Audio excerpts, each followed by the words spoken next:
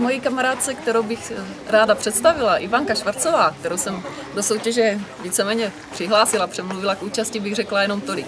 Ivanka je babička, však vypadá jak holčička.